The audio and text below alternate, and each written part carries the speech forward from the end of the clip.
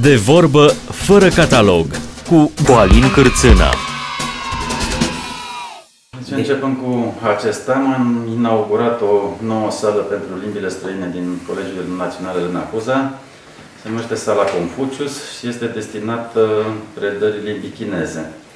După cum bine se știe în oraș, începând de 8 ani, am um, inclus limba chineză ca o alternativă la limbile tradiționale și elevii noștri puteau opta să facă limba chineză opțional.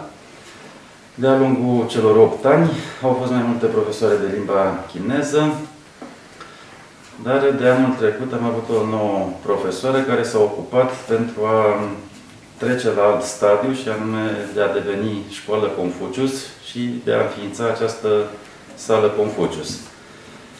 Banii pentru amenajarea sălii au fost primiți de la Institutul Confucius din Beijing, 30.000 de dolari, pe care i-am folosit la renovarea unei poste magazii, dar care acum este o sală de clasă foarte frumoasă.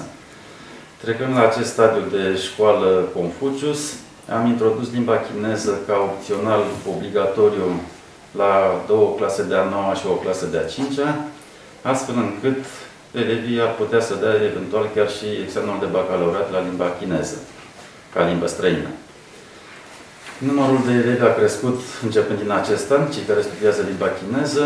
Anul trecut am avut cam 80 de elevi, anul acesta având 135 de elevi care studiază această limbă chineză. Am avut noroc cu doamna profesoară, domnișoara Shu Ruiu, Da. sau Rachel, Rachel. cum îi spuneam uh, în traducere liberă, care s-a ocupat de legătura cu Institutul Confucius și cu elevii noștri din școală. Astfel încât am obținut o sală de clasă foarte bine dotată și pregătită pentru studiul limbii chineze. Ce înseamnă școala Confucius? Ca să știe lumea. Este un alt statut în care parteneriatul trece la alt nivel, fiind uh, școala Confucius, beneficiem și de o finanțare din partea Institutului Confucius, pe lângă acea sumă de amenajare de 30.000 de dolari, vom primi anual și 10.000 de dolari pentru premii pentru elevi, materiale didactice, cărți, reviste și așa mai departe. Și practic intrăm în rândul școlilor care predau limba chineză în mod oficial, fiind limba chineză cu note în catalog, deci trecând la alt statut.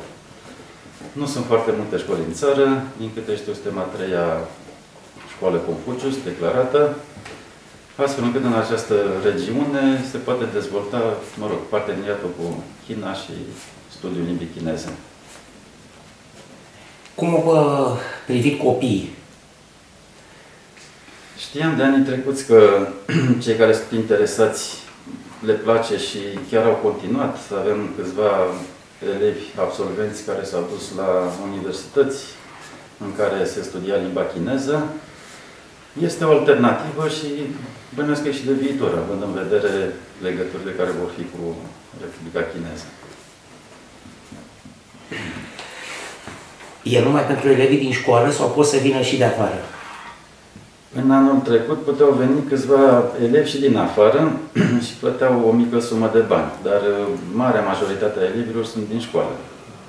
Și acum mai pot să vină din afară? Anul acesta, având în vedere condițiile de distanțare socială și de neamestecare a claselor și a elevilor, nu mai vin din afară. Dar în viitor vor putea veni fiind grupe separate cu cei care sunt din afara școlii. Cum ar putea, la anul să zicem, să ia legătura cu dumneavoastră? Alții, eu știu, de la alte licee, alte... De... Pot veni să se intereseze, fac o cerere, noi analizăm cererile și facem grupe în funcție de solicitările respective. Am înțeles că de anul trecut sunteți aici. You are here from uh, last year, so this is Yes, the yes, second year. second year. Ce v-a făcut să veniți aici și pentru ce? For what reason uh, did you come here? Yeah, because um, I applied this job from Confucius Institute, and uh, um, okay, yes, thank you.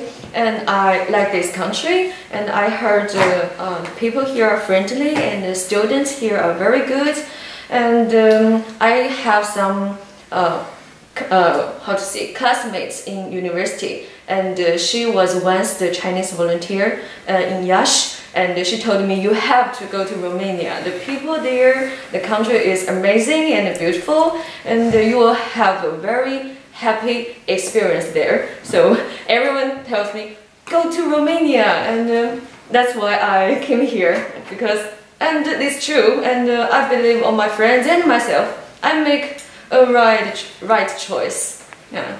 Deci am aplicat la Institutul Confucius pentru a lucra în străinătate, în dată față de China.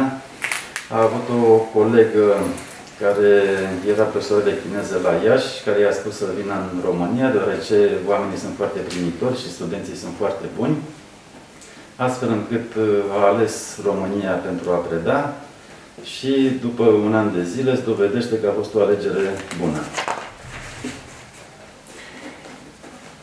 Cum au primit uh, copiii, elevii, limba chineză și mai ales cu dumneavoastră? Cum, uh, cum au conlucrat, cum ați conlucrat cu ei? How uh, the students received the Chinese language and uh, how um, do you succeed to collaborate with them? Okay, uh, I think at the beginning, uh, students are afraid of this language because everyone told them, okay, Chinese is difficult. And uh, I told them, it's difficult, yes, but it's different. So it's interesting to let's have a try. And we not only study only the pure language, and we will know some history and some culture things about this old country. And I think uh, pupils are really brilliant. The students is really brilliant here. So we start uh, from different uh, aspects. Uh, include okay, the maybe um, the people, uh, the nature, the cities, and uh, other things together. And I think uh, students love they love these lessons. And last year uh, we took three months for studying. That uh, means two lessons per week. And everyone in my class they can make a very fluent uh, self-introduction for themselves in Chinese and with standard pronunciation. So, uh, yes, really. Just a moment for translating because I forgot what you said. Okay.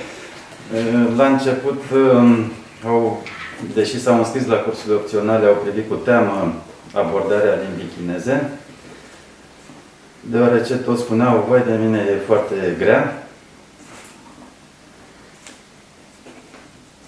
Dar uh, apoi au văzut că poate fi abordată în mod diferit, deoarece nu se studiază numai limba chineză pur și simplu, ci înglobează elemente de cultură. You are talking about culture and uh, Yeah. what else? Uh, the cities and, Orașe, Mhm. and traditions. arhitectură, tradiții, Mhm. astfel încât studiul limbii chineze să fie mai plăcut și mai eficient. Anul trecut, deși numai trei luni, nu? For three months they Yes. learned, au învățat uh, față în față, au reușit să se prezinte cu cuvintele lor. They uh, present themselves and what else they succeed.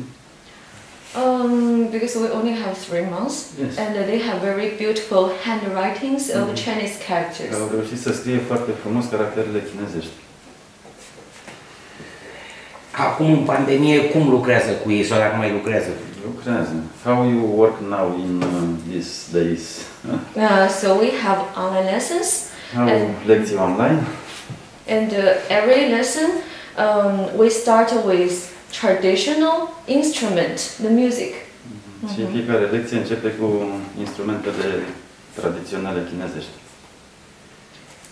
And uh, next time we will uh, learn some useful expressions like uh, in our daily life, like I love you, I like something, I don't like something for them.